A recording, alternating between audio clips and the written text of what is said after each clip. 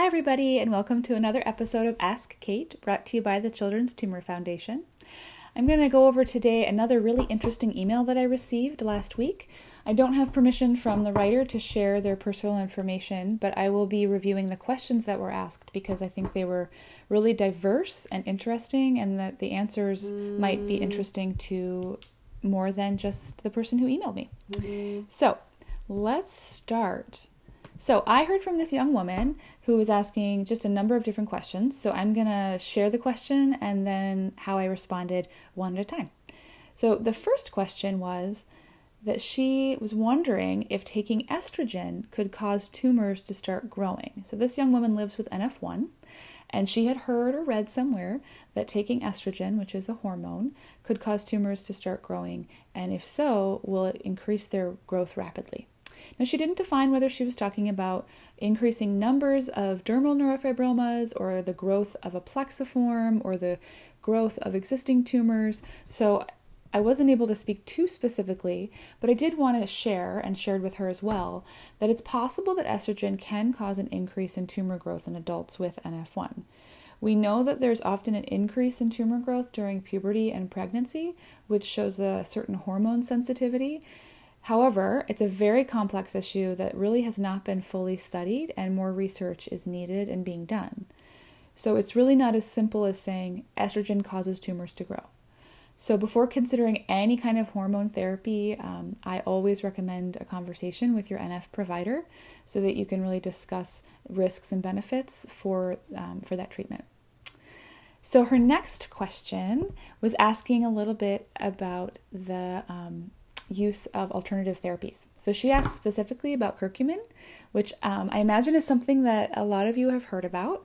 If not, you could Google that, although I don't normally recommend Googling, and you'll see that um, there's a lot of people in the NF1 community who think there might be some benefit to taking a curcumin supplement or having a diet, like a Mediterranean diet that's rich in curcumin. Um, so, again, this is an area where there simply is not sufficient research to know whether there's any impact on tumor growth with a supplement like this. Um, there are a lot of anecdotal stories, meaning just stories from people living with NF1 who really believe that there's been a benefit to them personally um, from adding this supplement, which is something you can just buy over the counter at your local drugstore.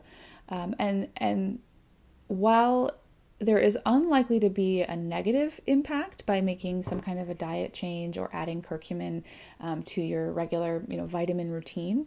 Again i'm always careful to say that i really strongly recommend speaking with your nf doctor before making any changes to your diet or supplements because while a lot of these supplements by themselves can be pretty benign um, and not have a um, a lot of danger associated with them there are a lot of cross reactions between supplements and natural remedies and medication prescriptions that you might be getting that you might not be aware of.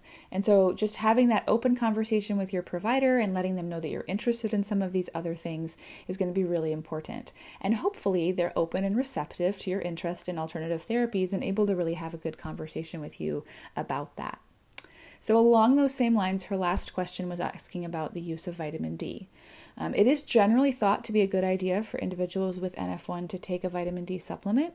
Vitamin D levels in those with NF1 do tend to run quite low, and there can be some risk for having low vitamin D. Um, vitamin D supports a healthy immune system and healthy bones. It helps you absorb calcium. There are different reasons why we need to have vitamin D in our system. Um, what exactly that low impact of, or why there's low vitamin D levels for individuals with NF1 specifically is not fully understood. But again, I would recommend that if you've never had your vitamin D level checked, you might ask your primary care doctor or your NF doctor to check that and see if a vitamin D supplement would be a good idea for you. Okay, so hopefully this was helpful and answered some questions that maybe you had, or maybe it triggered a question. Maybe you thought, oh, she, she didn't talk about this. I was wondering about this alternative therapy. I was wondering about that issue. Please, again, leave a comment down below, send me an email. Um, I would love to hear from all of you. Have a wonderful day, and thanks so much for tuning in.